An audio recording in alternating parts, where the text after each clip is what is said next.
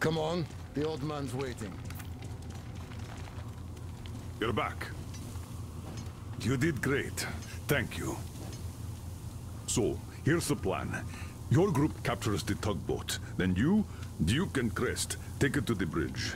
While Krest distracts the guards, you and Duke infiltrate the control room at the top and lower the bridge. On your mark, we'll ram the gates, pick you up, and... And... I pray to God it works out. Hmm. I can't give you or Duke any direct support. The data we have tells us the enemy's main force is guarding the gate.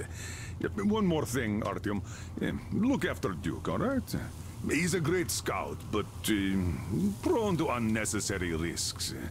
Uh, sure, he's young, but if he continues like that, uh, who knows what will happen, huh? So give him a good example and do it smoothly and quietly. You are his role model, and as such should remember that you are special forces, not tank jocks. Good luck, Artyom.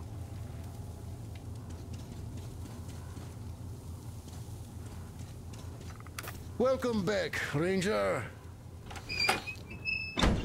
So, are you ready for that final push? Good luck. And thanks again.